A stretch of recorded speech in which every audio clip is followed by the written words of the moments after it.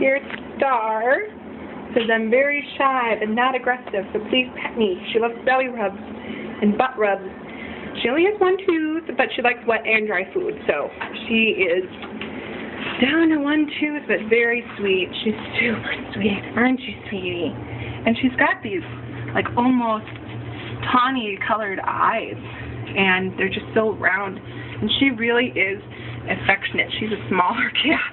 And she's like, please pet me. I love pets. Here, let me hold this steady. You can see her. So here is Starr. She is a big, sweet cat.